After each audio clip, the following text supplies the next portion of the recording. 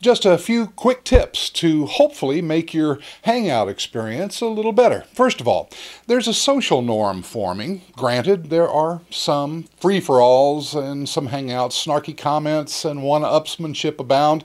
But we've got to remember most folks hiding behind keyboards on the internet for years have mostly communicated by running around holding virtual twigs over their heads and proclaiming themselves to be trees. That's not the general case now that we've kind of removed virtual sunglasses by adding real name IDs and video into the mix. So Anyway, whenever you first enter a hangout where you're the newbie, lay back, get the lay of the land, see how others are communicating.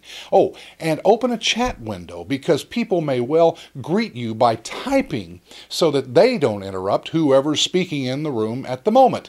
Speaking of interruptions, NewzGuy has a couple of tips about your camera and sound. Thanks, RJ. One of the most annoying things that can happen in a hangout noise.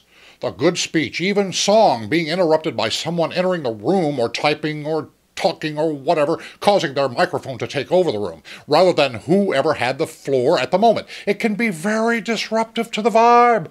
Make sure you mute your mic whenever you enter a room, and make sure you adjust your volumes on your mic, and that can be done in sometimes in up to four places. Your camera software,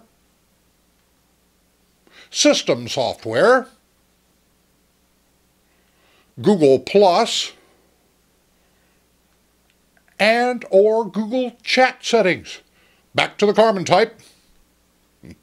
And if you're on a laptop, your typing can trigger the audio to follow you, and that's really annoying. So mute your own mic if you need to type like in the chat window or if you're surfing the web while you're in a hangout.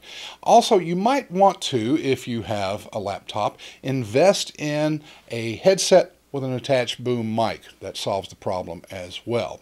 Now, if you have a clip-on webcam, you want to invest into a stand of some type. You can make one up rather than putting it on the laptop because, again, if you do that, it's you're going to sound like a herd of buffalo pounding across the plains. Hey, hey, you try typing with foam rubber fingers.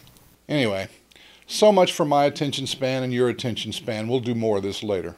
I'm Ron Jackson.